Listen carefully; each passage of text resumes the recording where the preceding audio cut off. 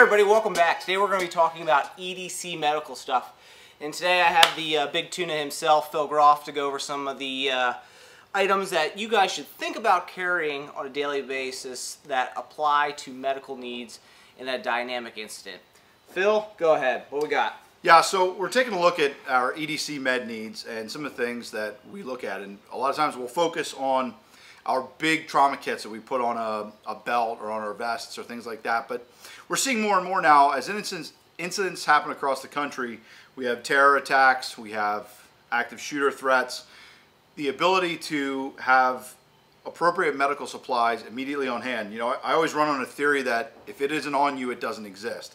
So having a, a great kit stocked up in your car does nothing for you if you're on foot. So we got to take a look at some of these EDC medical items. Obviously, it's going to be it's going to scale our capabilities to the size and how much we want to carry, or else we'll run around with Jack Bauer man purses. So we're going to take a look at some some good items that I that I use my personal EDC medical equipment and some other things that you can put together for your own kit to have something because something is better than nothing.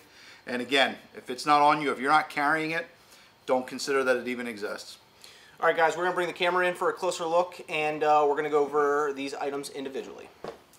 All right, Phil, walk us through some of these items you have here on the table. Okay, so what I have starting off here, this is a, a full-size med kit. So obviously this isn't something that you're going to carry and, and put inside your pocket and, and tote around. And yeah, it's got great gear in it and you got all kinds of room for storage and, and different things, but not realistic, not something we're going to be carrying. One of my, my kits, so I, I kind of have that over here to the side. Got a couple example of tourniquets here. This is an old military tourniquet, um, not real compact, it's it's also not a really really effective tourniquet. There's no windlass. It doesn't do the job, and they were replaced. We have a, a soft T here. Great tourniquet, and this is the exact same tourniquet that's in my EDC kit. This is just non-vacuum packed. You can use this tourniquet, very simple to use, very effective device. Uh, you can use this particular tourniquet in your EDC. This would slip in a pocket.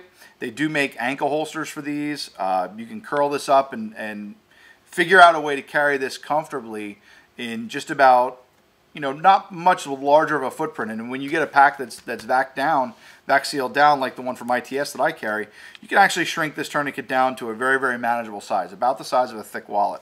So you got your baller cash in your wallet about the same as a tourniquet.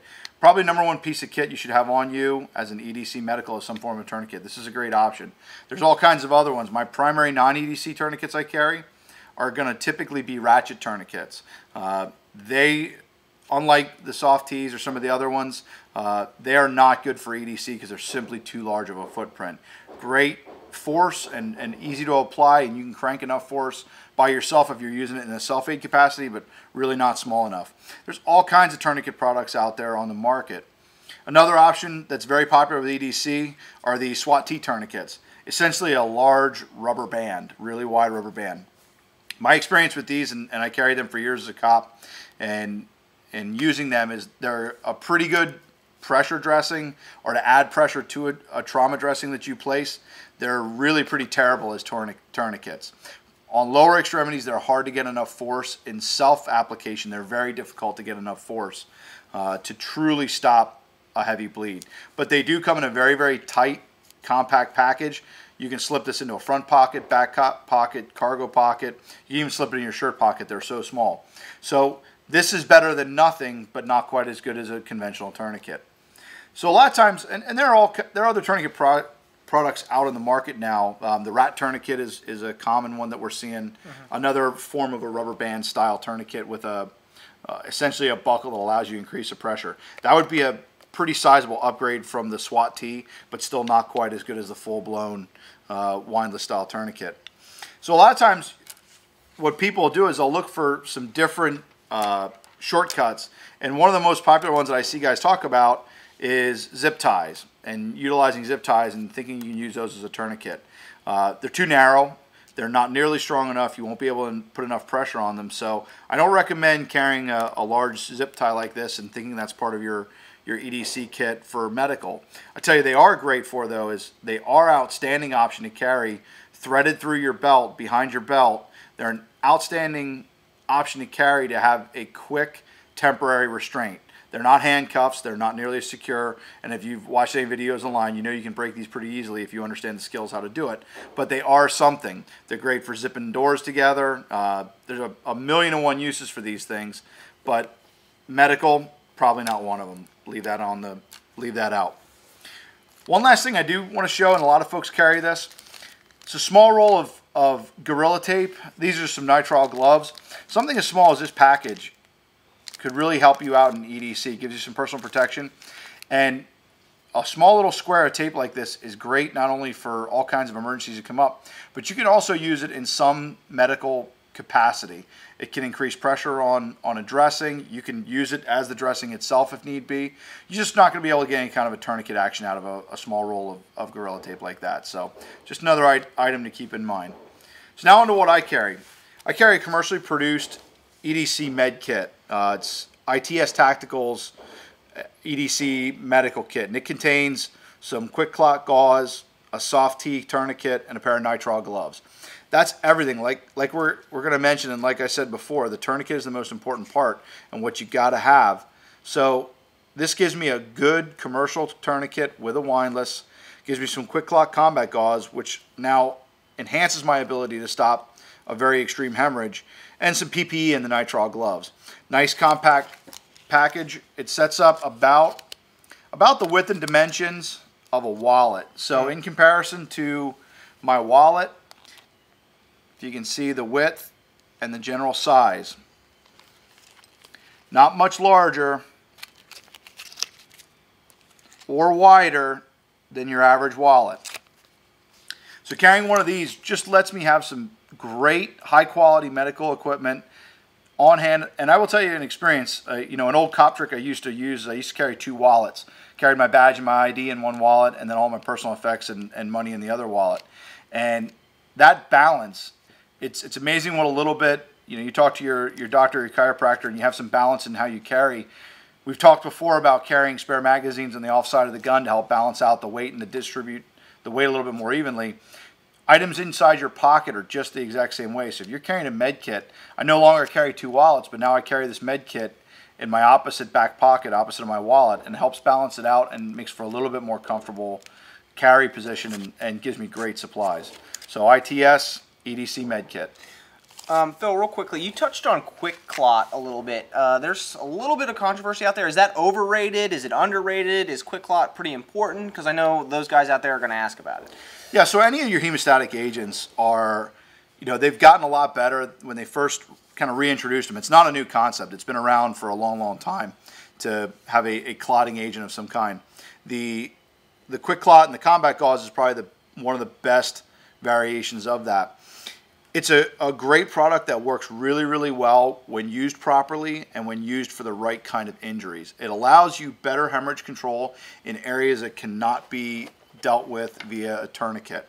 So some of your your intersection areas, your hips, shoulders, uh, some of your thoracic injuries that, that have no ability to have any hemostatic control or any, any bleeding control uh, applied by a tourniquet, any of your hemostatic agents, QuikClot, uh, you know, there's a, a lot of them out there. Any of those would, would do a better job than just regular gauze. Hmm. But it's proper technique, it's, it's proper equipment, coupled by proper technique. Packing a wound correctly. Um, far too many people don't pack it tight enough or, or use enough product. The hemostatic agent inside QuikClot just aids in that, but if all you have is regular gauze, technique is really more important, I think, than, than the actual agent itself. All right, guys, so that was a close look at some of the items here on the table. Phil, if you had to prioritize stuff, what would be the most important to carry on your person?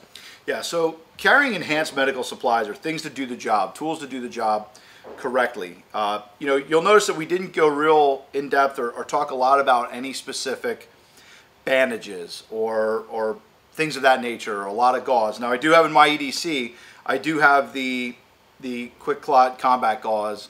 Uh, it's a great little package, but we don't talk a lot about the bandaging side of it, trauma dressing, bandaging, things like that.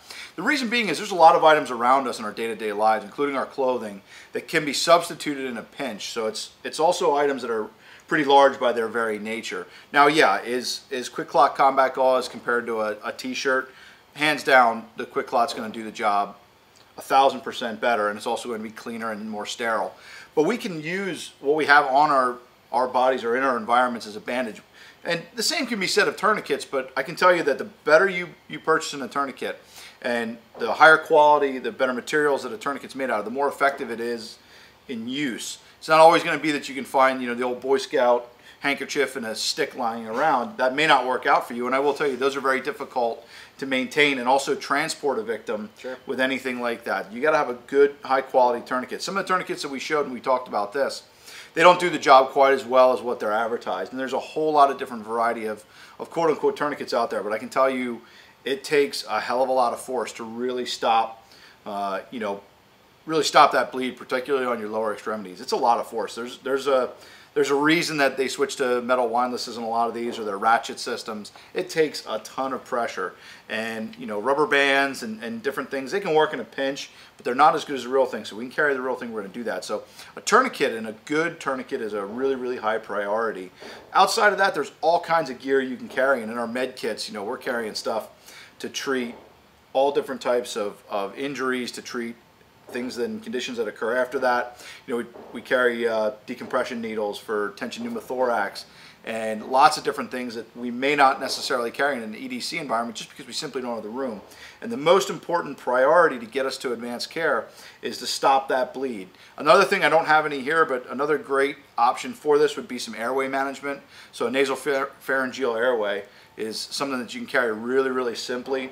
It just helps maintain that airway a little bit. If you have a really, really high level trauma though that that uh, nasopharyngeal doesn't do as much for you as, as other types of, of airway management systems. So I omit it from my kit because it's something that's to me it, it's more of an advanced level. Um, and for what the the nasopharyngeal does for you it's it's not enough bang for the buck. So there's all kinds of different options and and you can be creative but that tourniquet's the hardest thing to improvise. So probably the most important piece that that you're going to find and carry on a day-to-day -day basis. Excellent all right, guys, that's a pretty detailed look of what you guys should be thinking about medical-wise for your everyday carry. You know, it's unfortunate with the turn of events that we've had in this country and across the globe that this stuff is becoming um, towards the forefront of our minds. And uh, it's not something you should take lightly. Everyone loves carrying a gun. Everyone loves being, you know, a cowboy. But like Phil said, this is probably going to be the biggest opportunity to save lives is on the medical medical uh, arena. What do you think, Phil?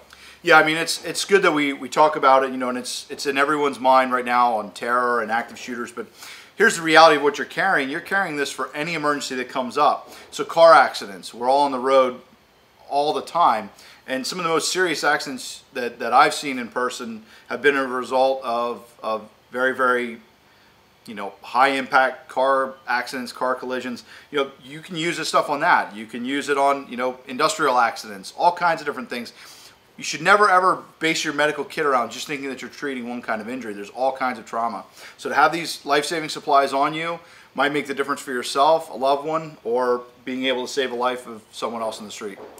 Yep. All right, guys, thank you for watching this video. Don't forget to hit that like button. Share this video with your friends and family.